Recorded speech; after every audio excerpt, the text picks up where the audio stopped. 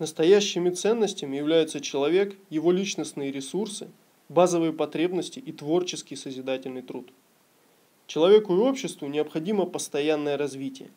Для этого существует разделение труда и обмен ресурсами. Кроме того, существует работа как некоторая общественная нагрузка. Необходимо постоянное пополнение продуктов и создание новых. В этой системе деньги всего лишь учетная единица, служащая для удобства обмена.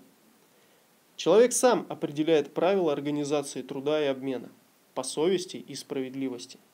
Но это еще не все. В современной системе общества есть такие элементы, как государство и банк. Государство претендует на управление системой общества, контроль над исполнением предписанных правил и организацию защиты систем. Банк претендует на установление и производство учетной единицы, организацию выдачи денег в систему общества. Безусловно, государство и банк приносят обществу свою ценность и пользу, но все же человек потерял свободу управления своим трудом, потерял свободу управления своей жизнью. Это повлияло на развитие человека и общества в целом. Государство облагает налогами производственные компании и самого человека. При этом снижается уровень оплаты труда человека и его покупательная способность. Уменьшение количества товаров, необходимых человеку, приводит к перераспределению приоритета потребностей. Налогами облагается и магазин. Издержки складываются со снижением спроса. Магазин, чтобы выжить, вынужден поднимать цены. Покупательная способность человека снижается еще больше. Еще меньше товаров он может приобрести. Чтобы восстановить уровень реализации базовых потребностей, человек вынужден больше затрачивать ресурсов на работу.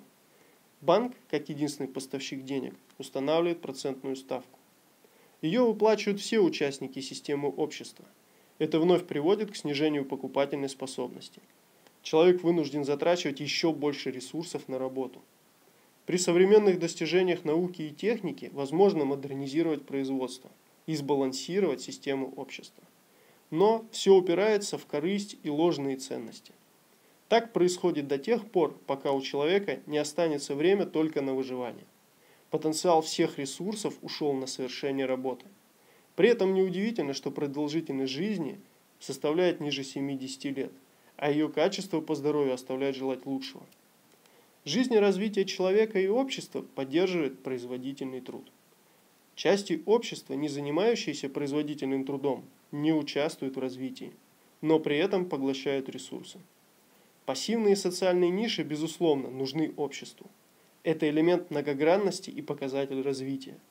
Но если они начинают определять правила организации общества, то превращаются в паразитические – Человек при этом уже не ценность. Он становится просто ресурсом.